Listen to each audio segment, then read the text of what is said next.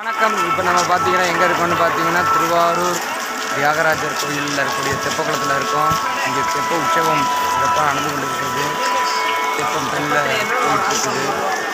பாருங்கள் எல்லாரும் இருந்த இடத்துலேருந்து தியாகராஜர் வேண்டிங்க.